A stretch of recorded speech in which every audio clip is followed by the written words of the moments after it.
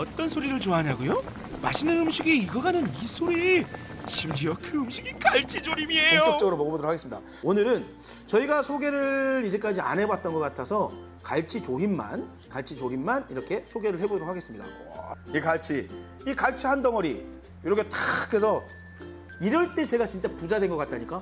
부자들만 한다는 항상 생선 한 번에 다 먹기. 탱글탱글한 갈치살이 꽉 들어찹니다. 오, 자 이거는 묵은지 김치찜, 묵은지찜의 그 김치 맛도 좀 나는 것 같고요. 음, 짭짤하니 이건 정말 밥을 부르는 그런 국물.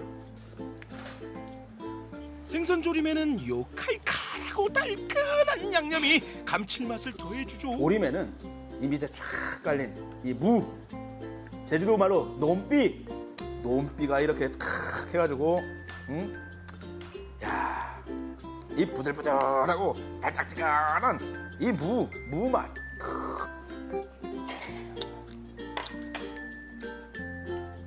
그리고 갈치도 너무 신선하고 크고 여기 옆에 성산포 수협에서 직접 매일 이렇게 공수를 해오신대요. 와, 굉장히 신선한 생선들은 이 뼈와 살코기 자체가 기름기가 돌기 때문에 금방금방 떨어져. 툭툭. 젓가락 몇 번 툭툭툭툭 했을 뿐인데 뼈가 쏙 빠졌어. 이거는 굉장히 신선하고 오래 보관되지 않은 기름기가 잘잘 넘치는 갈치다. 굉장히 신선한 갈치다라는 얘기거든요.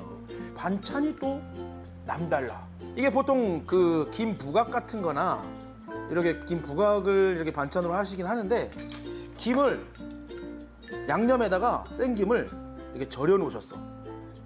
김무침, 김무침을 이렇게. 바다양 먹으면 쫀득한 다시마 위로 쌓아올린 쌈탑.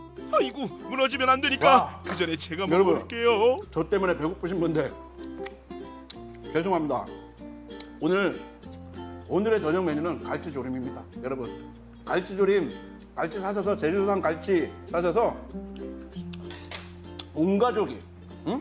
함께하는 그런 저녁 되보시기 바라겠습니다. 와!